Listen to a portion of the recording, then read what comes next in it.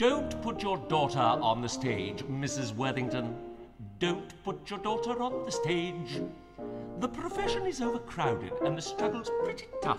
And admitting the fact she's burning to act, that isn't quite enough. She has nice hands to give the wretched girl her due, but don't you think her bust is too developed for her age? I repeat, Mrs. Worthington, sweet Mrs. Worthington, don't put your daughter on the stage.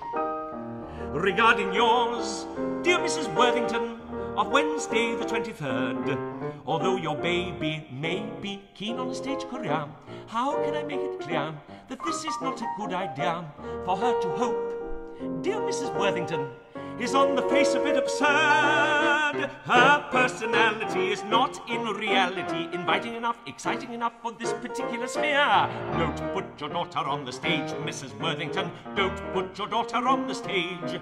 She's a bit of an ugly duckling, you must honestly confess, and the width of a seat would surely defeat her chances of success. It's a loud voice, and though it's not exactly flat, she'll need a little more than that to earn a living wage. On my knees, Mrs. Worthington, please Mrs. Worthington, don't put your daughter on the stage.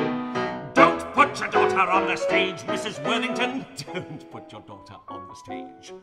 Though they said at the School of Acting she was lovely as Peer Gynt, I'm afraid, on the whole, an ingenue role would emphasize her squint. She's a big girl, and though her teeth are fairly good, she's not the type I ever would be eager to engage. No more buts, Mrs. Worthington. Nuts, Mrs. Worthington. Don't put your daughter on the stage. Don't put your daughter on the stage, Mrs. Worthington. Don't put your daughter on the stage. One look at her bandy legs shall prove she hasn't got a chance.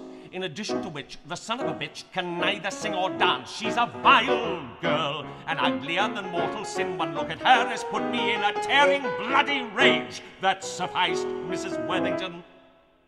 Christ, Mrs. Worthington, don't put your daughter on the stage. Thank you.